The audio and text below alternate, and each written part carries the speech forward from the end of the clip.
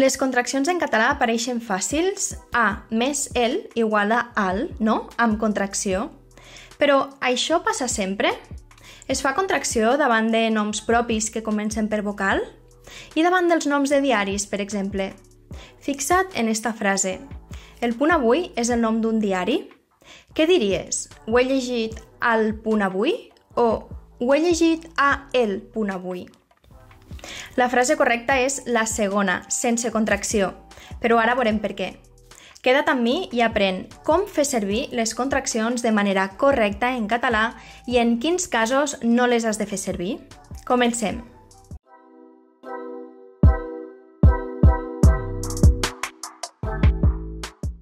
Primer de tot, què és una contracció? Bé, parlem de contracció quan dos paraules s'uneixen per convertir-se en una sola paraula. Com et deia al principi del vídeo, A més el igual a al. Aquí tenim una contracció. I quin és l'objectiu? Agilitzar i economitzar el llenguatge. De fet, sense les contraccions, els textos serien molt més carregosos i difícils de llegir, Imagina't que tinguéssim el text de la pantalla, que no té contraccions. Posa el vídeo en pausa i intenta llegir-lo i veuràs que no fluix, no queda ben lligat. A el vespre, per el jardí, hauria de ser al, pel, etc. Bé, doncs ja hem vist què és una contracció i ara veurem quines contraccions tenim en català. Les més utilitzades són les preposicions a, de i per, seguides de l'article definit masculí el o els.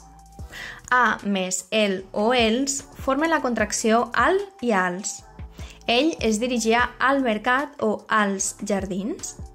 Amb la preposició de passa el mateix, obtenim del, dels, del poble, dels cosins. I amb per tenim la contracció pel i pels, va pel carrer o va pels carrers. A banda d'aquestes contraccions, el mot ca, escurçament de casa, també crea contracció quan va seguit dels articles el i els o de l'article masculí en. Ca més el formen la contracció cal, van anar a cal metge, ca més els cals, estic a cals avis, i ca més en formen la contracció can, menjaven a Can Pau, hem vist els casos més comuns i ara venen les excepcions. Per cert, abans de començar amb les excepcions, volia comentar-te una cosa. Tenim Instagram. Parlem d'escriure en català, també està disponible a l'Instagram, però el que trobaràs allà és una miqueta diferent, molt més específic. Als vídeos de YouTube m'enrotllo més i profunditzo en temes més extensos, com el que tractem avui, però a l'Instagram, en canvi, trobaràs pindoletes d'errors en català que t'ajudaran a continuar millorant d'una manera molt més amena. Et convido a seguir el compte, te'l deixo per aquí baix. Bé, ara sí, les excepcions. Quan no hi ha contracció en català, hi ha tres casos. Excepció 1. Si l'article es pot apostrofar amb la paraula que va després de l'article, ja que comença per vocal, amb o sense, llavors no hi ha contracció. És a dir, entre una contracció i una apostrofació preval l'apostrofació. Queda't amb aquesta idea? Amb exemples ho veuràs més clar. A caurà de l'arbre cal apostrofar l'article i, per tant, es desfà la contracció de de més el.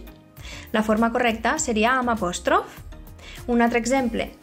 Arribo de ca Noriol. Passa el mateix. Oriol comença per vocal, s'ha d'apostrofar i, per tant, l'apòstrof preval per damunt de la contracció. Per cert, si necessites repassar les normes d'apostrofació, que són dos temes que van molt lligats, tinc un vídeo dedicat a l'apòstrof que et deixaré per aquí baix, a la descripció, per si el vols veure després. I ara passem a la segona excepció en què no hi ha contracció. Si l'article forma part d'un nom propi, com ara el nom d'una organització o un grup, o és el títol d'una obra o una publicació, no hi ha contracció. A més, en tots aquests casos, la inicial de la paraula anirà en majúscula. Per exemple, ha llegit la informació a El Temps. El Temps és el nom d'una publicació, així que aquí no fem contracció i mantenim la majúscula de l'article, que forma part del nom de la publicació. Amb noms propis passa el mateix, com el concert dels Catarres, que és un grup musical, i per tant mantenim la majúscula i apostrofem. I tercera excepció. Si parlem d'un nom propi estranger que no ha estat catalanitzat, tampoc és contrau.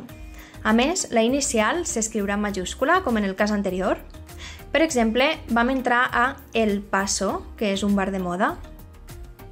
Si vols veure més exemples de contracció i el cas concret de l'article salat de la variant balear, pots consultar l'enllaç al blog sobre contracció en català. Te'l deixo a la descripció. Res més, espero haver-te ajudat amb este vídeo. Si t'ha agradat, no t'oblides de fer-m'ho saber amb un m'agrada i de subscriure't al canal. Ens veiem al pròxim vídeo.